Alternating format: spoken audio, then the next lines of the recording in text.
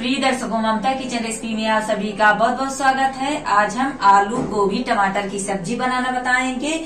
तो सामग्री में हमने ये फूल गोभी ले लिया है। इस तरीके छोटा फूल गोभी लिए हैं, दो कच्चे आलू ले लिए हैं, चार छोटे टमाटर ले लिए हैं, दो मीडियम साइज़ प्याज ले लिए हैं, सात आठ कलिया लहसुन डालेंगे। मसालों में आधा चम्मच जीरा है। ये खड़ी हल्दी है, थोड़ा जवित्री है। एक बड़ा चम्मच धनिया ले लिए हैं, थोड़ा तेज पत्ता ले लिए हैं, आठ दस दाने काली गोल मिर्च है, दो लौंग है, थोड़ा सा जायफल ले लिए हैं, थोड़ा दालचीनी है, एक बड़ी इलायची, एक छोटी इलायची, एक चौथाई चम्मच पोस्ते का दाना है, थोड़ा हरा धनिया डालेंगे, थोड़ा हमने अदरक ले लिया है, अभी इसका छिलका उतार के महीन काट लेंगे। दो हरी मिर्च ले लिए हैं। अगर आप ज़्यादा तीखा पसंद करते हैं तो और भी मिर्च डाल सकते हैं। कसूरी मेथी डालेंगे, एक चौथाई चम्मच। एक चम्मच काश्मीरी मिर्च डालेंगे। ये एक तीखी नहीं होती, इससे सब्ज़ी का कलर बहुत बढ़िया आता है। तो सब्जियों को हम काट कर तैयार कर लेते हैं और मसाले भी पीस कर तैयार कर लेंगे। फूल गोभी को अच्छी तरीके हमने काट कर धुल लिया है। मसाले भी पीस लिए हैं, प्याज भी बारीक काट लिए हैं। अदरक को हमने ओखली में महीन कूट लिया है। लहसुन की कलिया को भी कूट लिया है। काश्मीरी मिर्च निकाल लिए हैं। कसूरी मेथी भी निकाल लिए हैं। आलू का छिलका उतार के हमने छोटे पीस में काट कर अच्छी तरीके धुल लिए हैं। टमाटर भी महीन काट लिए हैं। तो सभी सामग्री रेडी है तो आइए सब्ज़ी बनाना शुरू करते हैं। सरसों तेल डालेंगे। तेल अच्छी तरीके गर्म हो चुका है तो अब हम फूल गोभी डाल देते हैं।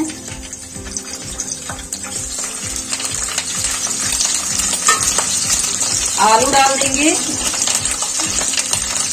अब इन दोनों को हम फ्राई कर लेते हैं। गैस को फ्लेम मीडियम रखेंगे। मीडियम फ्लेम में इसे सुनहरा कलर तक फ्राई करेंगे।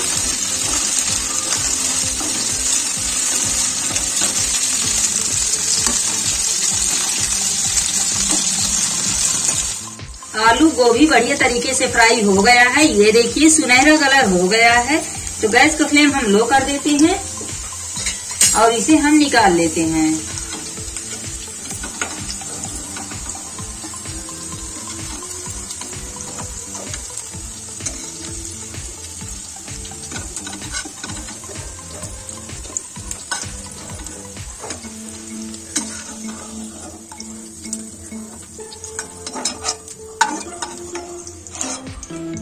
ये देखिए, गोभी और आलू हमने निकाल लिया है।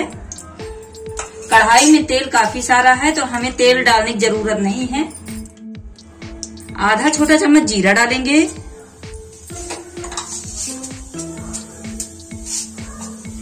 एक चौथाई चम्मच मेथी दाने डालेंगे। अब इन दोनों को हम चटकने देते हैं। गैस का फ्लेम मीडियम कर देंगे। तेज पत्ता डाल देते हैं। कटी हुई प्याज डाल देते हैं। प्याज को हम थोड़ा रोस्ट कर लेते हैं। अदरक, लहसुन, हरा मिर्च बाद में डालेंगे।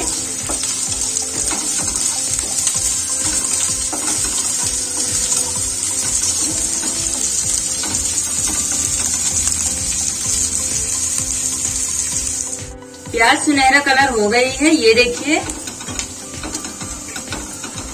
अब हम अदरक, लहसुन, हरा मिर्च डाल देते हैं। मिर्च को हमने लंबे पीस में काट लिया है। आप महीन भी पीस सकते हैं या छोटे पीस में काट सकते हैं।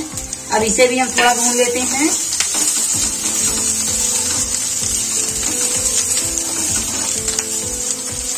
अदरक, लहसुन का कच्चापन खत्म हो गया है। अब हम काश्मीरी मिर्च डालेंगे। इसे भी थोड़ा भून लेते हैं।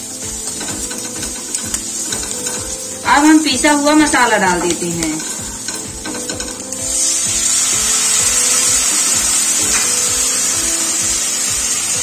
मसालों को अच्छी तरीके भून लेते हैं। मसाले हमें इतना भूनना है कि जब तक मसालों में से खुशबू ना आने लगे और मसाला तेल ना छोड़ने लगे, तब तक हमें मसाला भूनना है।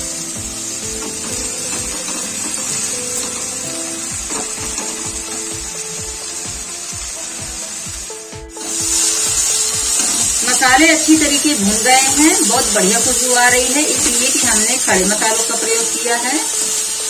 मसाला तेल भी छोड़ने लगा है। अब हम कटा हुआ टमाटर डाल देते हैं।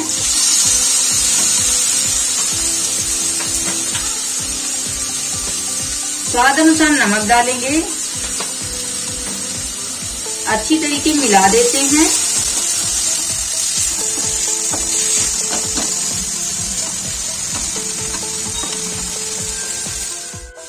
अब हम दो मिनट के लिए ढक्कन लगा देते हैं ताकि टमाटर अच्छी तरीके पक के तैयार हो जाए। दो मिनट हो चुका ढक्कन हटाएँगे। चेक करते हैं टमाटर हम। टमाटर अच्छी तरीके पक गया है। ये देखिए तो कलछुल की सहायता से इस तरीके हम मैश कर देते हैं।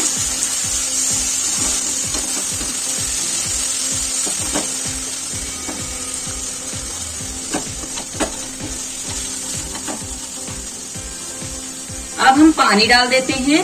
पानी आप अपने हिसाब से डालिए, जैसे रसेदार सब्ज़ी पसंद करते हैं तो पानी ज़्यादा डालिए, और सब्ज़ी गाढ़ी पसंद करते हैं तो कम डालिए। गैस का फ्लेम हाई कर देते हैं ताकि जल्दी उबाल आ जाए।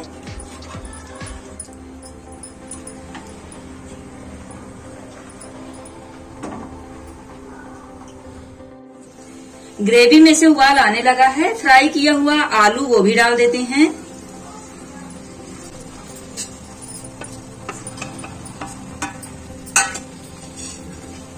कसूरी मेथी डालेंगे।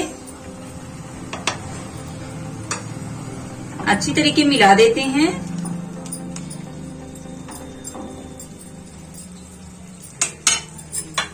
अब हम पाँच मिनट के लिए ढक्कन लगा देते हैं। गैस का फ्लेम मीडियम रखेंगे ताकि सब्ज़ी अच्छी तरीके पक के तैयार हो जाए। पाँच मिनट हो चुका है, ढक्कन हटाएँगे। सब्ज़ी हम चेक करते हैं।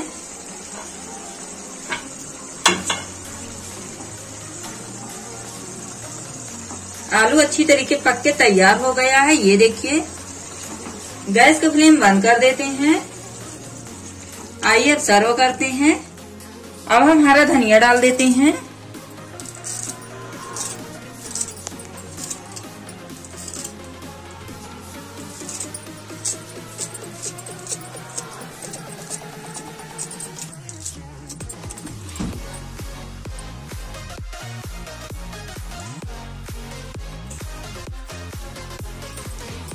ये देखिए, आलू, गोभी, टमाटर की सब्ज़ी बनके तैयार हो गई है।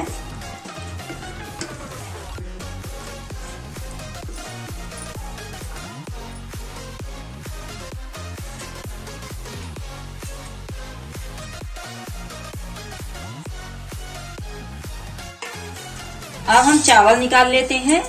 हम यहाँ चावल और गोभी, आलू, टमाटर की सब्ज़ी के साथ खाएँगे।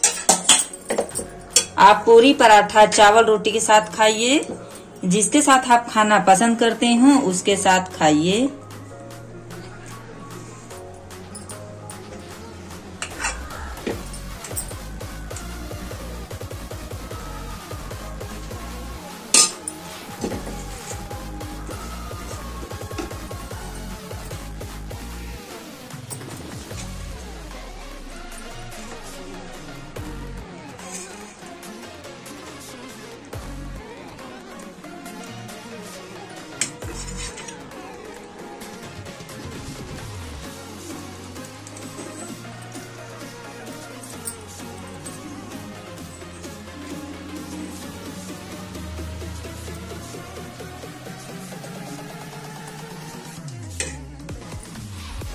तो आज की गोभी, आलू, टमाटर की सब्ज़ी की रेसिपी आप लोगों को पसंद आई हो तो लाइक कीजिए शेयर कीजिए और हमारे चैनल को सब्सक्राइब कीजिए।